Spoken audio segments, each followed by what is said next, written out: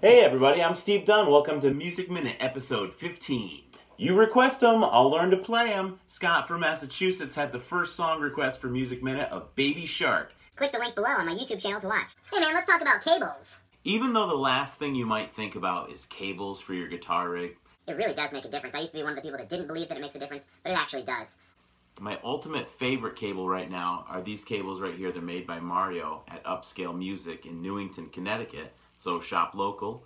This guy makes a cable actually does sound different. It doesn't make noise when you shake it. The ends don't come unscrewed when you're at a show and you've got two seconds to set up and play.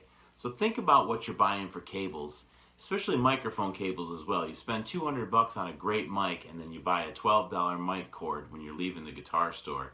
It just doesn't make sense. Spend a couple extra bucks, buy some cables that'll last longer, they'll sound better, and you'll be a lot happier.